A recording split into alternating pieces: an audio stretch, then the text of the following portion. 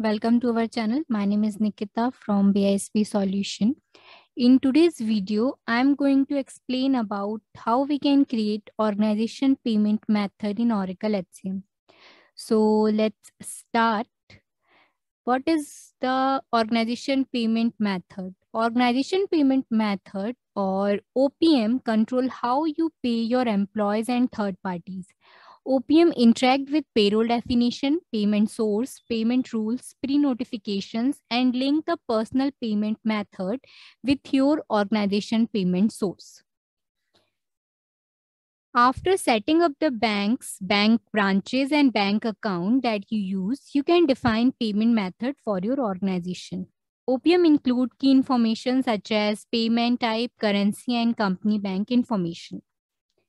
You must create one organization payment method for each combination of legislative data group, payment type, and currency that you use to disburse wages and other compensation. So let's move on to the application.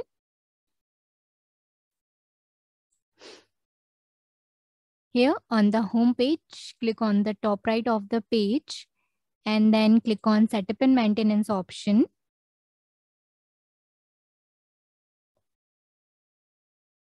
Go to the task area and then click on the search option. Here find the manage payment organization payment method.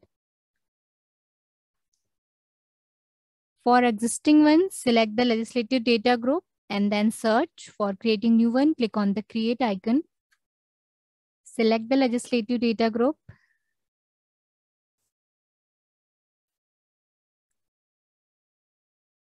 Here, fill the name.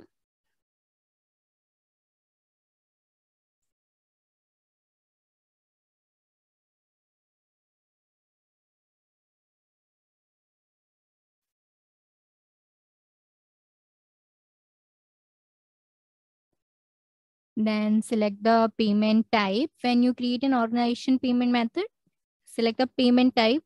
The exact list of payment type and their names can vary by the country. Then select the currency. Currency is typically defined as the name currency as your company source bank account. Define currency in the OPM for payment transfer. Here.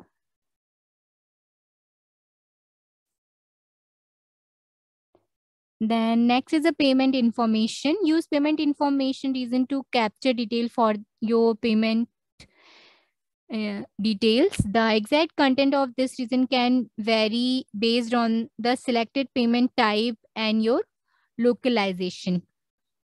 You can also uh, and you can enter payment information at the organization payment method and you can also enter the payment source information and if you want you can enter both both of the level so i add into the payment source info, uh, payment source information. Then uh, next is a pre-notification. What is a pre-notification?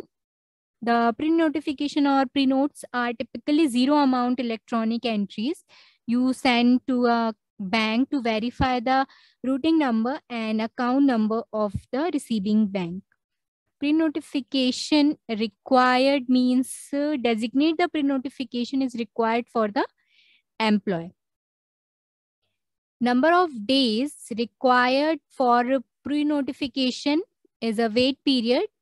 Until the waiting period is complete, the employee is paid by check. For example, if you set the pre-note wait period to 10 days, depending on the timing for weekly payroll run, the employee may receive two checks before the direct deposit begins. So you can uh, fill according to your preference here. Then I move into the payment source option.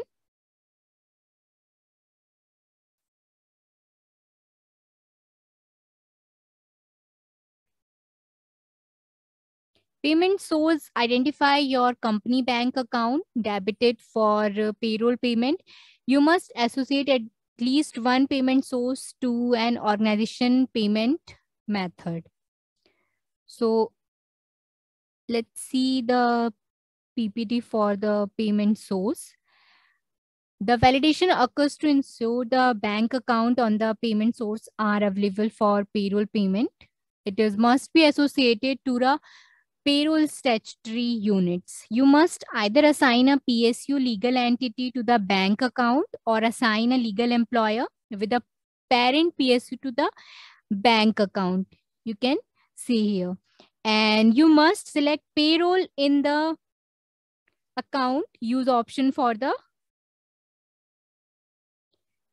bank account. And uh, must have active bank account. You must assign a bank account that's active of uh, at that time of the payroll payments. So you have to create primary ledger then assign to uh, legal entity. And then the legal entity associate the psu and legal employers and then create bank account and uh, enroll for account use for the payroll and then create the payment source. So this is how payment source work. So let's move on to the here for creating the payment source. So fill the payment source name.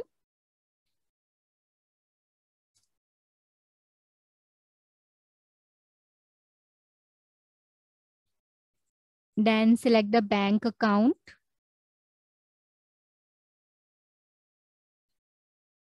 Then you select the bank account name, the bank name, branch name, and number country automatically populated here.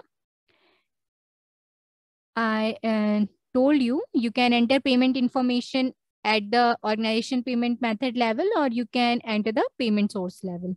Or if you want you can enter the both level. So i fill the bank name here. And if you want to add any other detail you can add here like transaction limit and payment limit. And if you want to add any other detail you can add here. Then click on the continue option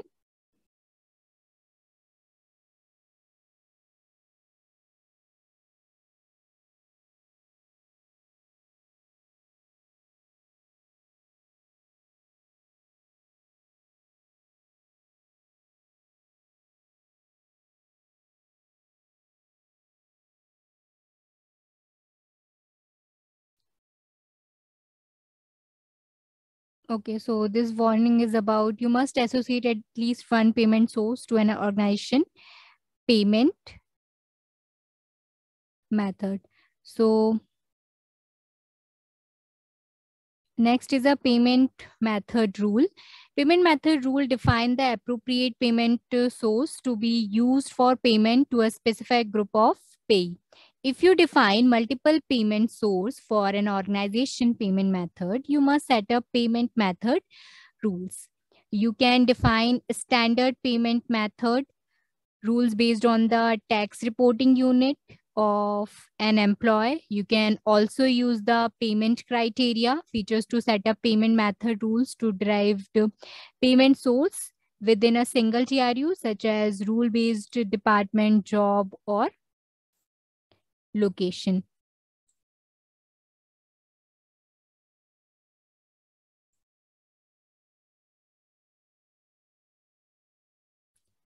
Then click on the submit option. Let's search for our organization payment method.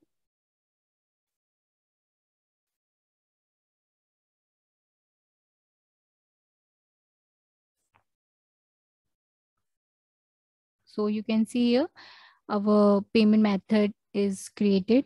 So this is how you can create organization payment method for your organization. I hope it is clear to you. Thank you so much for watching.